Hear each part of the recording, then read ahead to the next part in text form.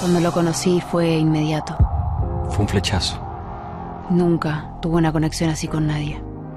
Su cara, su sonrisa. Nunca jamás nos aburrimos del otro. Es perfecto.